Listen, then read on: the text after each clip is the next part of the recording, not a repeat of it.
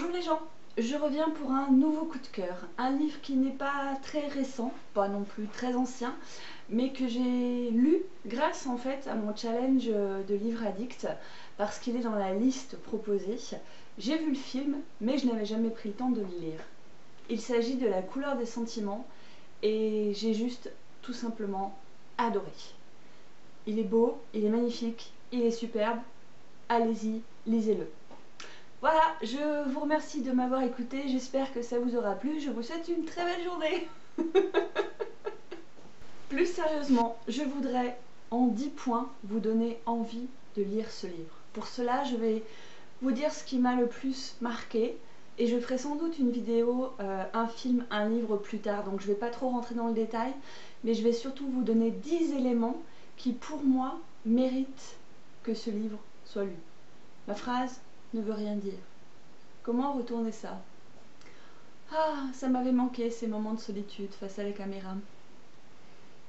Bref, je vais vous donner 10 raisons de vous donner envie de lire ce pavé qui passe tout seul. Raison numéro 1, ce livre dresse tout simplement un parfait tableau de la condition des Noirs dans les années 1960 aux États-Unis et en particulier dans certains États du Sud. Raison numéro 2, au-delà de la condition des Noirs d'une façon générale, c'est également la condition des femmes noires, des bonnes, des maîtresses à tout faire que l'on pouvait retrouver dans les grandes demeures qui est décrite, mais c'est aussi la condition des femmes en général et des blanches entre elles. C'est juste un massacre. Elles sont aussi odieuses entre elles qu'elles peuvent l'être avec leurs bonnes. C'est une catastrophe on retrouve voilà, tout le côté un petit peu élitiste de la société de cette époque euh, par rapport à la taille des terrains, par rapport à son implication dans les dîners, dans les thés, dans les clubs de je ne sais quoi. Et ce qu'elles sont capables de se faire entre elles, c'est effrayant.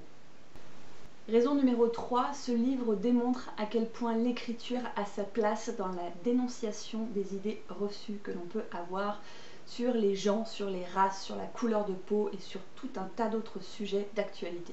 Raison numéro 4, il y a également beaucoup de choses à apprendre du point de vue des éléments, des événements historiques euh, en toile de fond, on va dire, de ce livre, notamment par rapport à Rosa Parks, notamment par rapport à Martin Luther King, par rapport aux premiers étudiants à entrer à l'université mixte.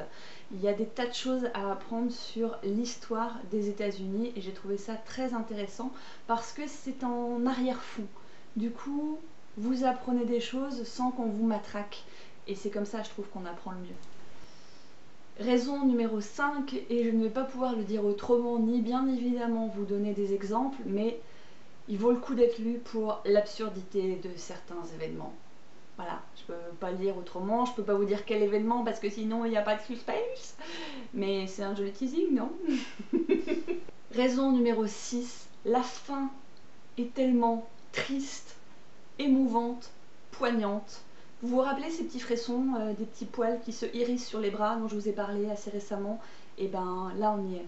Et ceci est un crime.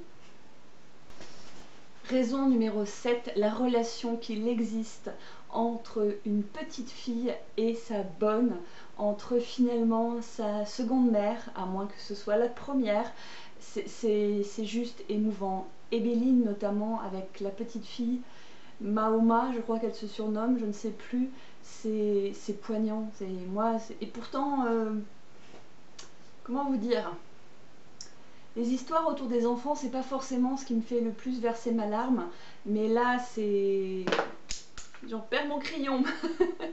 Cette petite fille est tellement ignorée par sa maman, est tellement aimée par sa bonne que vous pouvez pas passer à côté, c'est pas possible. C'est pas possible. Et la raison qui va juste derrière, et je suis tellement émue que j'en ai oublié mon nombre, c'est justement pour les histoires que raconte Ébeline à cette petite fille autour de métaphores sur les enfants blancs et les enfants noirs, sur le fait que souvent les bonnes s'en vont quand les enfants sont capables de comprendre les couleurs de peau, alors que jusqu'à présent ils ne le voyaient pas, c'est délicieux à souhait. Je me retiens énormément de ne pas vous en lire un passage parce que ça vous gâcherait la découverte, mais c'est délicieux à soi. J'ai retrouvé mes petits et j'en arrive donc à la raison numéro 8 qui rejoint un petit peu la présente sur les histoires des histoires justement c'est euh, toutes les métaphores, toutes les figures, toutes les images, toutes les comparaisons qui sont faites dans ce bouquin. Il y a une phrase qui m'a marquée où à un moment donné, euh, elle compare ses cheveux et elle dit qu'ils sont plus pubiens que crâniens. Euh, une autre phrase qui... de quoi est-ce qu'elle parle déjà? Elle parle d'un événement et elle dit que c'est impossible de se retenir au point que ça passe par les tresses. Et je vais quand même vous lire un petit bout qui n'est pas le plus intéressant mais qui vous donnera une idée du style. Le lendemain de cette matinée où Miss Celia a changé de couleur, c'est le jour des draps et celui que je déteste le plus. Les draps, c'est quelque chose de trop personnel, qu'on n'a pas envie de tripoter quand on n'est pas de la famille. C'est plein de poils et de croûtes et de bave et de traces de copulation. C'est pas trop beau comme image? J'adore. Il y a plein de passages comme ça, c'est un vrai délice, encore une fois. Et enfin, la dixième raison qui font que pour moi ce livre est un petit chef-d'œuvre, c'est tout simplement la façon dont il est écrit. Je vous l'ai déjà sous-entendu avec euh, voilà, les, images, euh, les métaphores, le style qui est emprunté par l'auteur, mais il y a aussi la façon dont le livre est construit. C'est-à-dire que chaque chapitre correspond en fait à une femme, qu'elle soit bonne, noire, ou qu'elle soit euh, hautement gradée et blanche dans la société. Euh, chaque chapitre en fait permet de voir évoluer les personnages et ça crée des cliffhangers de malade. C'est-à-dire qu'à un moment donné, par exemple, vous êtes en train de suivre les aventures d'une des bonnes qui a qu'une trouille, c'est de se faire choper, et là, et là, elle croit qu'elle est sur le point de se faire attraper. On passe au personnage suivant.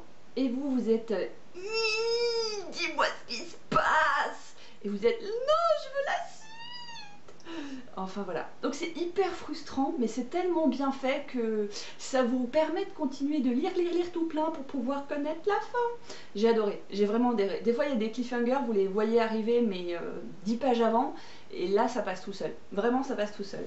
Donc euh, voilà. Pour terminer sur euh, cette présentation qui, me semble-t-il, est partie un petit peu dans tous les sens, mais que voulez-vous, quand j'aime, je, ne compte pas, je m'exalte, je suis en pleine forme, je suis excitée et je veux que vous le lisiez, s'il vous plaît. je voudrais partager avec vous un passage qui m'a particulièrement touchée si vous n'avez pas envie parce que vous aimez pas qu'on vous spoil des trucs, même si c'est pas vraiment l'intrigue principale, vous pouvez arrêter là la vidéo. Il ne vous reste plus qu'à courir dans vos bibliothèques pour trouver ce livre. Euh, sinon, vous pouvez écouter juste les quelques lignes que je vais partager avec vous. Elle évoque son tout premier emploi à l'âge de 13 ans, quand elle astiquait l'argenterie à la résidence du gouverneur. Elle raconte comment, dès la première matinée, elle s'est trompée en notant la liste des pièces du service servant à vérifier que les domestiques n'avaient rien volé. Je suis revenue à la maison ce matin-là, après qu'on m'ait renvoyée, et je suis restée dehors avec mes chaussures de travail toutes neuves. Les chaussures qui avaient coûté autant à ma mère qu'un mois d'électricité. C'est à ce moment, je crois, que j'ai compris ce qu'était la honte et la couleur qu'elle avait. La honte n'est pas noire comme la saleté, comme je l'avais toujours cru. La honte a la couleur de l'uniforme blanc tout neuf quand votre mère a passé une nuit à repasser pour gagner de quoi vous l'acheter et que vous lui rapportez sans une tache, sans une trace de travail. Voilà. J'ai emprunté ce bouquin, je ne l'ai pas acheté parce que bah, voilà, quand il y a des livres qui sont un peu entre guillemets à la mode, j'ai tendance à les emprunter pour voir avant s'ils vont plaire, mais celui-là il est clair que je veux le voir rejoindre ma bibliothèque, donc euh, ça ne saurait tarder.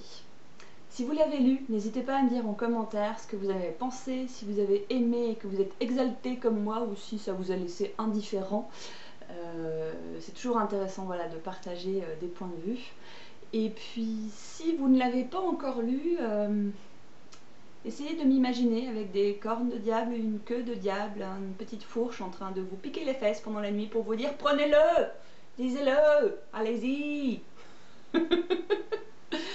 voilà les gens, je vous souhaite une très très bonne journée et je vous dis à très bientôt pour de prochains partages lecture. Ciao